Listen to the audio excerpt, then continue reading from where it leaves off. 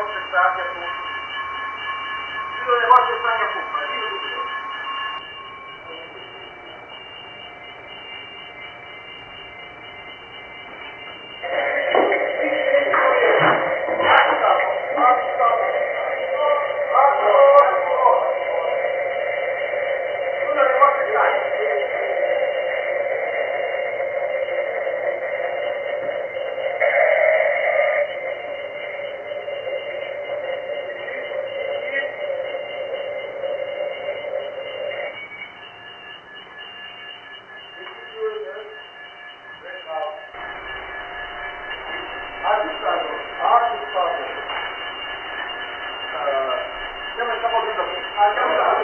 Aggiustato.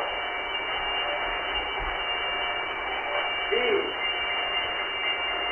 sì, sì, forse stanno in macchina, chiudere. Le porte stanno in macchina, pannello di dietro, pannello di dietro. Chiudere le porte stanno. La domanda è ineludibile. Le cose sarebbero andate diversamente se il timoniere avesse correttamente eseguito l'ordine di schettino? Gli esperti del Codacons sostengono di sì. Senza sminuire gli errori precedenti, errori commessi in primo luogo dal comandante, ritengono che gli eventi avrebbero seguito un altro corso e che la nave avrebbe aggirato lo scoglio che le è stato fatale se la virata fosse stata compiuta correttamente. Perché questo non è successo è un'altra storia che speriamo un giorno di potervi raccontare.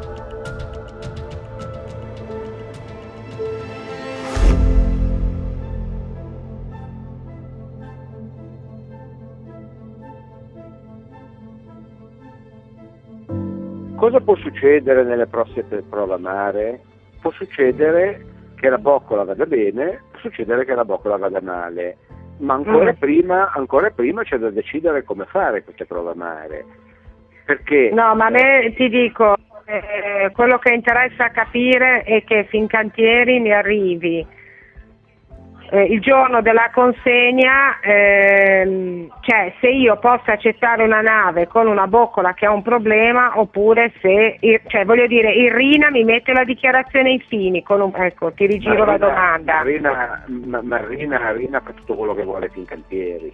Allora, libertà Sì, però qua è una, una consegna, io voglio capire quindi se... una, eh. una consegna. Quindi puoi decidere di fare delle prove a mare severe, quindi zig zag, eccetera, eccetera, eccetera, eccetera. Quindi a quel punto o la boccola si ribrucia o la boccola va bene. Però puoi anche decidere di fare delle prove a mare non severe. Se tu prevedi che nel Vabbè, prossimo eh, quello è una guarda, scelta... guarda, Eh no, io secondo me andrà a finire così, che faranno delle prove a mare finte.